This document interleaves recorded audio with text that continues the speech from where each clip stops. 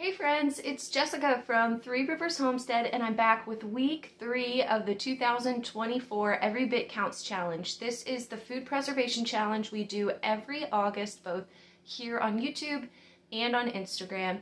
And the point of the challenge is just to preserve something every day of the month. It doesn't matter how small it is. It could be as simple as just grabbing a bunch of herbs and getting them drying, or as complicated as a big bulk day of canning. So I am documenting all of the projects that I'm doing through the month of August here on YouTube, and you can check out the last two weeks of projects on my channel. I'll put a link in the description um, for those. So we have more exciting food preservation projects to hopefully inspire and encourage you. Um, so let's go ahead and get started. In last week's video, I showed you these three bushel bags of corn that we were able to start preserving. We did one day worth of canning projects, and then I had shown you this nifty tool that I use. I'll link it in the video description to remove the corn from the cob. My first couple days of this week are going to be spent using up the rest of this corn. We have an overflow fridge in our garage, so thankfully once we had all of that corn shucked, I could put it all in the fridge and then just slowly whittle away at getting it all in jars. So on our first day here, we are going to pack these pint jars with some of this decobbed sweet corn. So I am hoping to do 19 pint jars at once. And so all I'm doing is filling the jars with the sweet corn and then we're going to top them off with water. This is a raw pack method. This is just room temperature water. And then we're going to put these in the pressure canner for 55 minutes for these pints. I always like to have little pint jars of corn like this on hand. It goes great. I have a salsa recipe that I like to make that calls for just this amount of sweet corn. Sometimes I'll throw a pint of this in my cornbread or just dump it in some soup or whatever other meal that I'm making. So this is just really convenient. We got all of our lids and our rings on there. And as I mentioned, we're going to pressure can these and it's going to be a 55 minute processing time for the pints. I am going to use my ForJars pressure canner, which is rather new to me. I typically use a standard Presto canner that only fits about nine to 10 pint jars in it at once. But I wanted to use this ForJars canner to see if I could double stack this and you can. So all I did is I put a couple inches of water in the bottom of the canner and then you can put two rows. So I fit 19 pint jars in this, which is wonderful. I'll put a link to the canner in the video description. If this is something you're interested in, you can get 10% off using my discount. But it only took me 55 minutes then to get 19 jars done, which is such a blessing. Usually I'd have to do two separate loads to get this much done um, in a day. The next day, I ran out to the garden to do a little harvest. Look at all of the beautiful colors coming out of the garden this time of year the oranges and yellows and reds. I just love it. It makes me so happy. So I pulled some goodies from the garden. I decided that we were going to use up some corn by canning some southwestern vegetable soup. I did this last year using the ball canning recipe and just absolutely loved it. Told myself I had to repeat it this year. So that is what we're going to do, except I'm just going to change a little bit of the recipe and I will do that safely. Don't you worry. We are starting by um, getting some onions here chopped up. We're still working through all of those tiny onions that we're using for preservation projects. And then I'm just, it's about the equivalent of one large onion per jar, just kind of spreading that amongst those seven quart jars.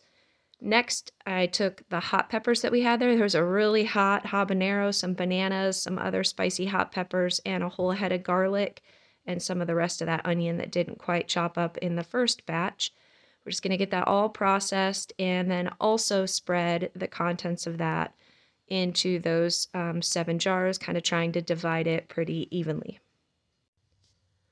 Our next ingredient for the southwestern veggie soup is going to be peppers. Now I want one green pepper per jar as well as one sweet bell pepper. So that is my goal here. And I don't particularly like the texture of bell peppers, green peppers when I can them. They get kind of mushy. So I do like to really blend those up in the food processor. These are here primarily just for the flavor, but I don't want that rubbery texture in my final product. Now we are going to add our spices. I'm adding paprika. Um, we're going to add, that was one teaspoon of paprika, two teaspoons of cumin. We're going to do a half a teaspoon of chili powder just because that uh, the hot peppers I added were extremely spicy already. I don't want this to be too hot for my kids. I also added one teaspoon of salt per jar. Now we'll add our other vegetables. You can add whatever you want to this. I am adding carrots, so it's about two to three carrots per jar. And then we're topping off the rest of the jar with that decobbed sweet corn that we're trying to work through. Now, in the meantime, I had a batch of tomatoes from the garden that were cooking down on the stove. Uh, these were cored, but they do have the skins on them. So I'm just taking my immersion blender once they're softened up and completely blending those skins in. And then we are going to top these jars off with that tomato sauce. Now we want to leave one inch headspace. So I am going to take my chopstick here and stir that around to release any trapped air and then go back and adjust uh, to add a little more liquid to the jars that needed some more to achieve that one inch wiping our rims, and then we're adding our ForJars canning lids. Just like with the canner from ForJars, if you want 10% off lids, use that link in the video description. These are just the very best lids with the best seal rates that I have ever had in my canning career here. Getting our rings on, and then these are going to go into the pressure canner for 75 minutes. And when we're done, we're going to have a delicious southwestern vegetable soup. This project didn't use up all of the tomato juice that we had cooked down, so I am going to fill up some jars here and get the rest of this in the fridge. One of my sons wanted to make chili for dinner this week, so we will have some nice fresh tomato juice for him to use in his chili, so that is a bonus. But while I was working on that, the canner was working on the soup, and here it is all done. So let me explain to you how I'll use this. This is just kind of a base like a lot of the other soup bases that I'm making. When I want to make this this winter, I'll dump this jar into a pot, add some more tomato juice, I'll add some canned beef or some beans. Um, you can even add pasta and make it kind of like a chili mac. It's so versatile, but we will definitely bulk this up. One jar itself will not feed my family. I will have to add other jars to the base in order to make a full meal. It was now day four with this corn, and I knew that I had to finish it up and get it out of the fridge before it started to go bad. And so I decided to fill up and do one um, canner load of quarts of the sweet corn. So the process for doing this is exactly the same as the one I showed you for the pints. The only difference is going to be that these are going to process in the pressure canner for 85 minutes. The pints I showed you only processed for 55 minutes. But other than that, the entire process is exactly the same. So this is just a really quick and easy way to get those corn in some jars and preserved um, because they really did need to be dealt with. Uh, sweet corn will not last indefinitely in the fridge. And then these jars of corn will just make a nice side dish for meals that we want to have over the winter. You know, if I roast a turkey and make some mashed potatoes and some green beans, we can just take a quart of that corn and also warm it up. Now, the very last of the corn that I had, I decided to just do one or two small batches of corn on the cob in the freezer. My family does not particularly love the taste of frozen um, corn on the cob. The texture, if you do blanch it, isn't terrible, but it definitely doesn't taste like fresh sweet corn. So it's just not my favorite way to preserve it. But there are a couple meals that we make. One in particular is a shrimp boil that Adam does every December and it does call for corn on the cob like this, and it's impossible to find corn on the cob in the store in December. So we freeze some up for that. We need to blanch it first, so we boiled it for just about a minute and a half. That's it. And then you immediately put it in some ice water like this. This is called blanching, and this stops the enzyme action in the vegetable and retains the nutrition. It also helps with texture. Another thing that's going to help with texture is making sure you get all of the excess water off of your corn before you package it up. If you have water on there, it's just going to get icy and you're going to have ice on your corn in the freezer and it's just not going to be a good texture when you go to thaw it. Another thing that helps with texture is vacuum sealing it. So that's what I'm doing here. Sucking all that extra oxygen out will make this the best, best texture possible when it comes out of the freezer. So that's it for the corn. I don't want to see any more corn. I'm very happy to be done with those three bushel bags. On our next day, I had headed out to the garden and done a carrot harvest, our first harvest of the season uh, for carrots. These are just the little ones. We had big ones that came with this harvest that I put away in the fridge to use for fresh eating and for our meals. These are just, you can see, the really teeny tiny ones that I just decided would be better off um, to just be preserved and used up in another way because I do like to have some frozen carrots. I'm taking a homegrown loofah sponge here and scrubbing those carrots really well to get all of the dirt off of them. Fresh garden carrots come pretty dirty. And then we are blanching them just like we did with the corn on the cob, except these were boiled for about five minutes instead of just the one and a half minutes for the corn. So after the five minutes of boiling, I shocked them with water just like this, and then I'm going to put them in the food processor to chop them up, to shred them into little tiny bits. Because I have a carrot cake muffin recipe that my children really love. I love to make it in the winter, and it calls for shredded carrots like this. Each recipe calls for two cups of shredded carrots, so that is the portion that I'm going to be freezing these in. I'm also going to be vacuum sealing these just like I did with the corn on the cob. And once it's done, we'll get these in the freezer, and this will give me five batches of those muffins um, throughout the rest of the year. So that's really exciting. On this next day, I had spent about six hours during the day completely cleaning the downstairs of my house, and I was exhausted and having terrible Braxton Hicks. But at the end of the day, I had to preserve something, and I didn't have the energy to run out to the garden. so I just grabbed this bag of peaches from last year that had gotten forgotten in the freezer. There is little to no nutrition left in these after a year in the freezer, so we're going to make something out of them that is not for nutrition but just for the peach flavor, and that is peach jam. So I just took the frozen peaches, these are skins and all, put them in the pot with a little bit of water on the bottom to prevent them from sticking and burning. And we just soften those up. And then I'm taking my immersion blender and just trying to chunk the peaches up. I don't want to turn them completely into a peach sauce. I do want to have some chunks in there. So I guess it's more like a chunky peach sauce and you will not notice those peels, I promise you, um, after they've been cooked and blended up like this. So to make our jam then, I'm just going to add a package of pectin here, and we're bringing this to a full boil. And then once it comes to a full boil, we're going to add four cups of sugar, bring it back to a boil, and then we can add it to our jars. And like I said, this is just a quick project. It took me about 20 minutes. It was all I had the energy for, but I was happy to get that bag of peaches put to use. They really weren't good for anything like smoothies anymore, but um, they did still have good peach flavor. And so we will enjoy this jam um, throughout the winter, just on some homemade bread and things. This is going to be really tasty. So for jam, it's a fruit, it's a high acid food, so you don't have to pressure can it like the other things that I've shown you. You can throw this in the water bath, which is just essentially boiling the jars for 10 minutes. And when you're done, you have shelf stable jam that can be added to your pantry shelves.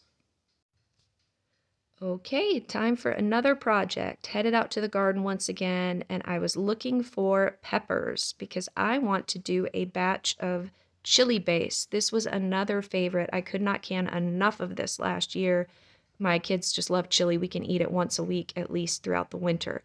So what I'm going to do to start my chili base, I'm actually canning this in pint jars, as you can see, because this is going to be a really concentrated chili base. This is just all the flavors of your chili concentrated into one tiny jar. So I'm using up more of these tiny onions and I'm chopping them up and putting them into the food processor, which has been my habit lately, so that I don't have to hand chop all of the onions.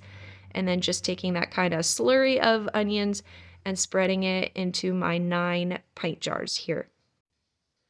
Just like with our southwestern vegetable soup, I am going to add hot peppers. I'm just doing a mix of random hot peppers that I saw in the garden. I just grabbed whatever I had. It's habaneros, some jalapenos, um, and then I'm also going to add some cloves of garlic.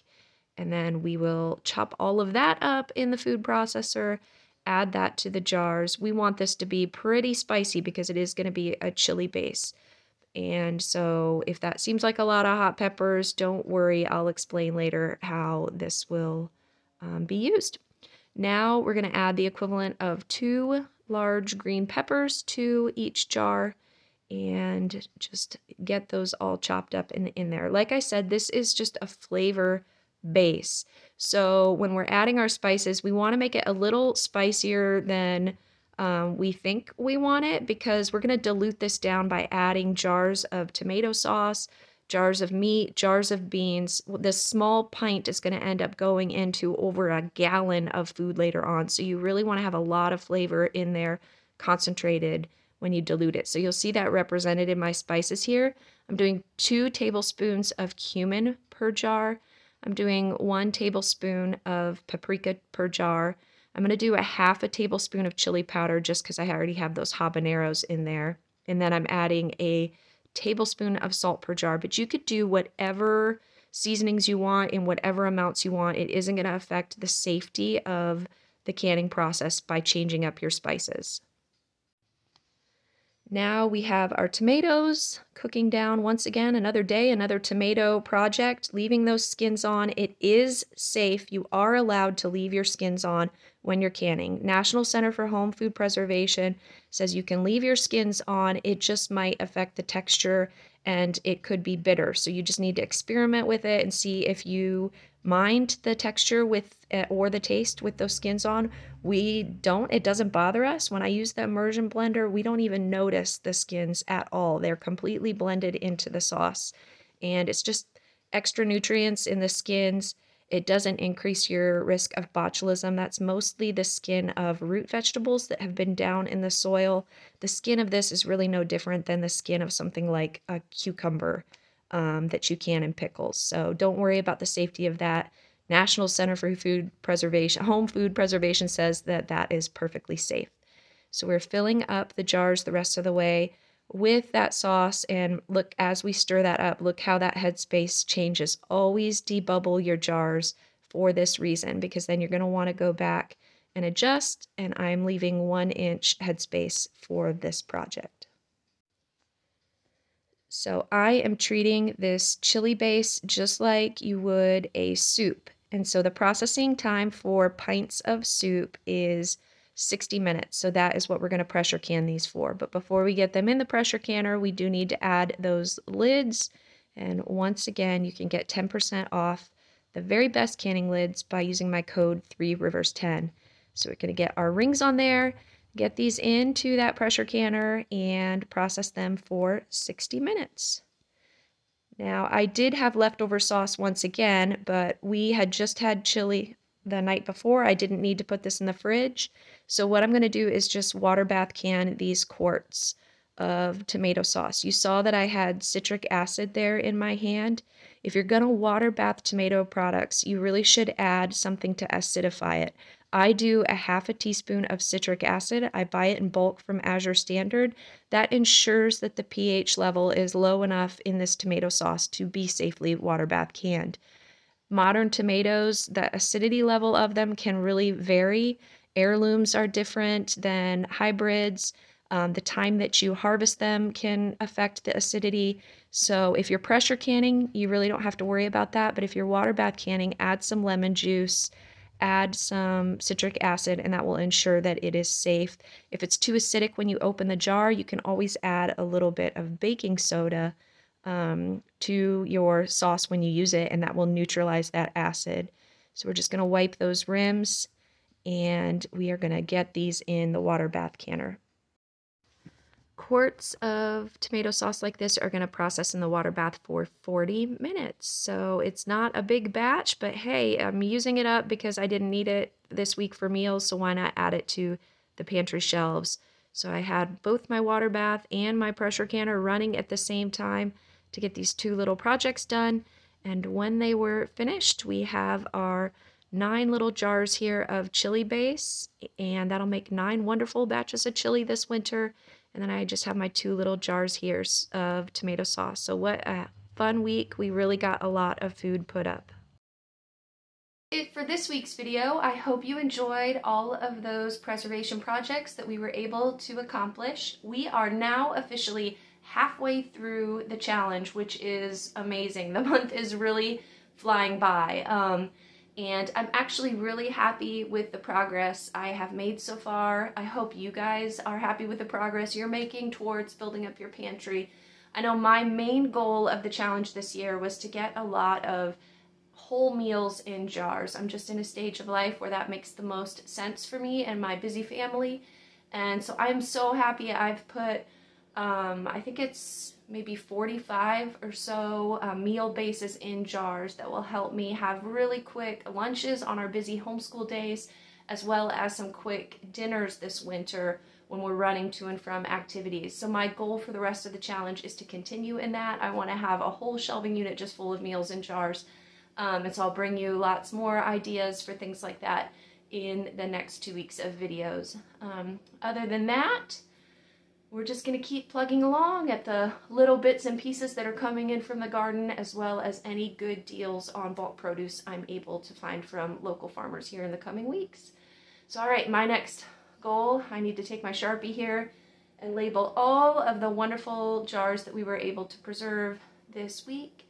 I need to get them labeled with the contents and the date and then we can take them on down to the cellar. And then as always, at the end of the challenge, we'll do a full pantry tour um, to show you everything that we've been able to um, save up and store up so far this growing season. So continue to follow the hashtag. If you haven't checked it out, make sure you do that both here on YouTube and on Instagram. There are so many amazing channels um, and pages on Instagram that are participating.